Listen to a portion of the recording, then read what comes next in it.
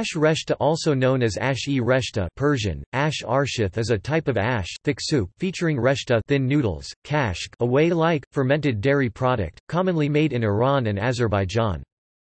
There are more than 50 types of thick soup ash in Iranian cooking, this being one of the more popular types. The ingredients used are reshteh thin noodles, kashk a whey-like, fermented dairy product, herbs such as parsley, spinach, dill, spring onion ends and sometimes coriander, chickpeas, black eye beans, lentils, onions, flour, dried mint, garlic, oil, salt and pepper. This is a soup that is vegetarian but can easily be made vegan by omitting the kashk, alternatively, meat can be added.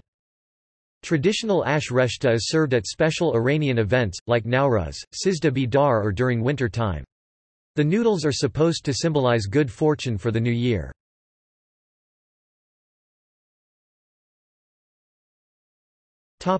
See also